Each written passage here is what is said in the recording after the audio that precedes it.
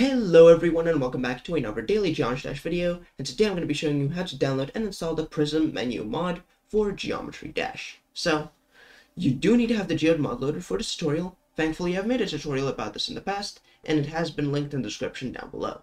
So, all you want to do is go over to the Geode mod loader button right here, and you want to go over to this download section right up here between featured and recent, and here you want to click on search, and you just want to type in prism menu just like that. And you have prism menu by Firee and we can just uh, click on get. As you can see it has almost a million downloads. Install. It's going to download the mod as well as any dependencies. This one doesn't have any dependencies. If you go over to install you'll see it doesn't actually show up yet because the game needs to restart for the mods to start properly. So let's restart the game.